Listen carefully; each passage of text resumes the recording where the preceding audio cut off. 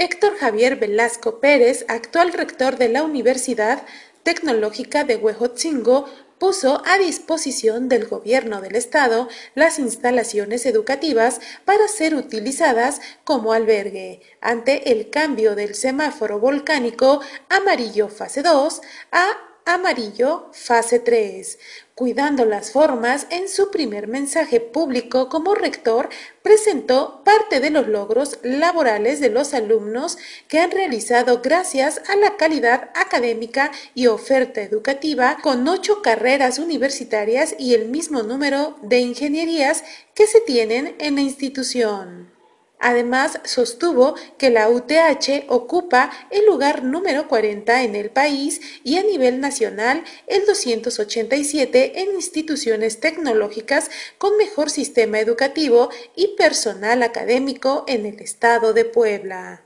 Desde mi llegada, desde el primer día, desde el 19 de febrero, he recorrido cada edificio, aula, laboratorio, áreas verdes y lugares emblemáticos para nuestra casa de estudios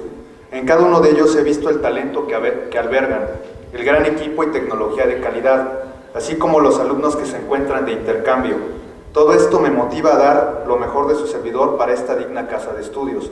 pero también he observado las carencias que tenemos, esos problemas que han sido rezagados y eludidos por algunas personas, pero que hoy lo digo fuerte y claro, pondré manos a la obra para subsanar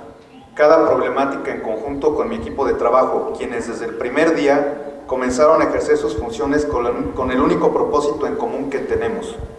darle el lugar de calidad y excelencia que se merece a nuestra universidad. Con imágenes de Josué Guzmán, informó para Puntual Aurelia Navarro Niño. Puntual